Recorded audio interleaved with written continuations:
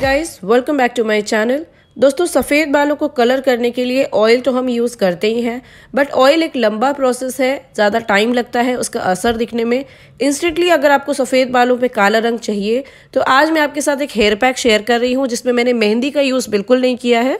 बिना मेहंदी के हम ऐसा हेयर पैक बनाएँगे, जो बिल्कुल इंस्टेंटली आपको काला रंग देगा, आपके सफ़ेद बालों को ब्लैक करेगा। चलिए स्टार्ट करते हैं आज की वीडियो पसंद आएगी तो इसे ज़्यादा से ज़्यादा लाइक एंड शेयर कर दीजिएगा।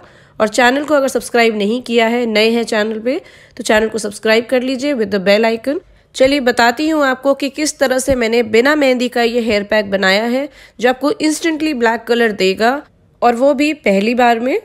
तो दोस्तों, सबसे पहले आपको एक पतीले में थोड़ा सा पानी लेना है। एक ग्लास के बराबर मैंने यहाँ पे पानी लिया है, एक बड़े ग्लास के बराबर। गैस का फ्लेम हम ऑन करेंगे और इस पानी को बॉईल करने के लिए चढ़ा देंगे। सबसे पहला इंग्रेडिएंट जो हमें इसमें डालना है, वो है बीट रूट पाउडर चुकंदर का पाउडर चुकंदर का पाउडर नहीं है तो आप चुकंदर का रस भी ले सकते हैं, उसका जूस भी ले सकते हैं।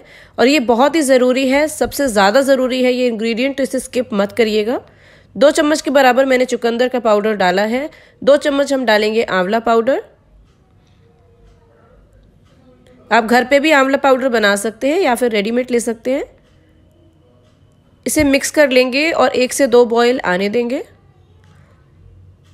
एक से दो बार जब ये उबल जाएगा तो फिर हम नेक्स्ट इंग्रेडिएंट डालेंगे। अब दोस्तों, हम यहाँ पर ऐड करेंगे चाय की पत्ती। जो भी आप नॉर्मली चाय की पत्ती यूज़ करते हैं, आप वही डालें। दो चम्मच के बराबर हम चाय पत्ती डालेंगे और इसे अच्छे से बॉईल होने देंगे। जब तक इसका कलर बिल्कुल डार्क नहीं हो जाता, ये पानी बिल्कुल हाफ़ रिड्यूस नहीं हो जाता, तब तक हमें इसे बॉईल करना है लो फ्लेम पे। लो टू मीडियम पे आप रख सकते हैं। इसे बॉईल होने दें ताकि अच्छा सा इन्फ्यूज वाटर ये बन जाए, चाय पत्ती का बीट रूट का और आंवला पाउडर का।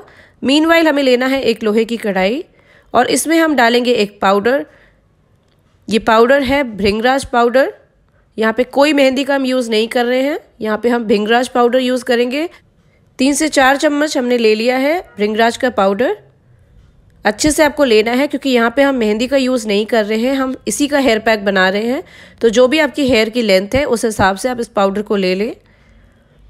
इसके बाद हम डालेंगे अपना सेकेंड इंग्रेडिएंट जो है हिबिस्कस का पाउडर यानी कि गुड़हल के फूल का पाउडर हिबिस्कस यानी कि गुड़हल हमारे बालों के लिए बहुत अच्छा होता है। बालों को कलर देने के साथ साथ बालों की लंबाई को भी बढ़ाता है। और ये पाउडर भी बहुत ही आसानी से अवेलेबल होता है। एक चम्मच डाला है मैंने हिबिस्कस फ्लावर का पाउडर एक चम्मच हम डालेंगे आंवला पाउडर। आंवला पाउडर मैंने पानी में भी यूज़ किया था, यानी उसके डिकोशन में भी यूज़ किया है और यहाँ पे भी यूज़ किया है। इन्हें एक बार मिक्स कर लेंगे अच्छे से। एक स्पून की हेल्प से आप इस पाउडर को मिक्स कर लें। और इसके बाद हम डालेंगे अपना लास्ट इंग्रेडिएंट। ये इंग्रेडिएंट है कॉफ़ी। एक बड़े चम्मच के बराबर हमें कॉफ़ी पाउडर ले लेना है। यहाँ पे हमारा पानी बन के तैयार हो चुका है। इसका कलर आप देख सकते हैं, बिल्कुल डार्क सा हो गया है।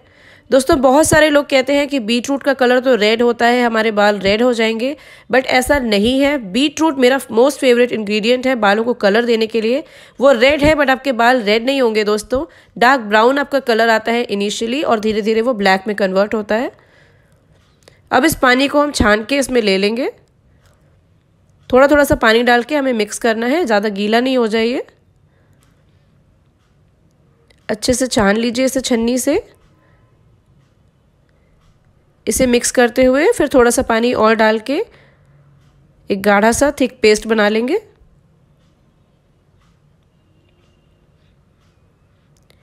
अच्छे से इसे मिक्स कर लेंगे। अब इसे हम सोख होने के लिए छोड़ देंगे। कम से कम नहीं तो चार से पाँच घंटों के लिए। उससे ज़्यादा के लिए आपको छोड़ने की ज़रूरत नहीं है, क्योंकि भृंगराज वैसे ही बहुत अच्छा कलर देता है। चार से पाँच घंटों तक इसे आप मिक्स करके छोड़ दें। आप चाहें तो इसमें एग भी मिला सकते हैं, आप चाहें तो एलोवेरा जेल मिला सकते हैं। ये दोनों चीज़ मिला के या फिर आप नींबू भी मिला सकते हैं, उसके बाद अपने बालों पे लगाएँ।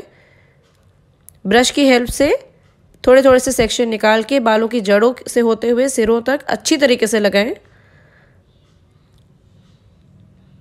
रूट्स में लगाना नहीं भूलें क्योंकि वहीं से हमारे बालों की सफ़ेदी दिखती है।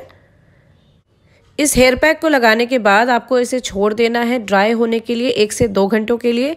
एक घंटे भी आप रखेंगे तो भी आपको अच्छा कलर मिलेगा। टाइम है तो आप दो घंटे रख दें और भी अच्छे रिज़ल्ट मिलेंगे। और इस हेयर पैक से आपको ठंड बिल्कुल भी नहीं लगने वाली है क्योंकि इसमें मैंने मेहंदी का यूज़ नहीं किया है। तो आप बेझिझक होकर इसका यूज़ कर सकते हैं। वॉश करेंगे उसके बाद आप नॉर्मल वाटर से और उसके बाद ड्राई होने के बाद आपको ऑयलिंग करना है। नेक्स्ट डे ही आपको शैम्पू करना है। बिना ऑयलिंग किए आप शैम्पू मत करिएगा। ऑयलिंग करने से आपके बालों का जो कलर है वो लॉक हो जाता है। जो भी इस हेयर पैक से आपको कलर मिला है वो लॉक हो जाता है। उसके बाद नेक्स्ट डे ही आपको शैम्पू करना है कंडीशन करना है। इसे ट्राई करिएगा दोस्तों और अपना फीडबैक मेरे साथ शेयर करिएगा। पसंद आई है आज की वीडियो तो इसे ज़्यादा से ज़्यादा लाइक एंड शेयर कर दीजिए। और चैनल को सब्सक्राइब नहीं किया है तो सब्सक्राइब कर लीजिए। मैं मिलती हूँ आपसे अपनी नेक्स्ट वीडियो में। Till then take care and bye bye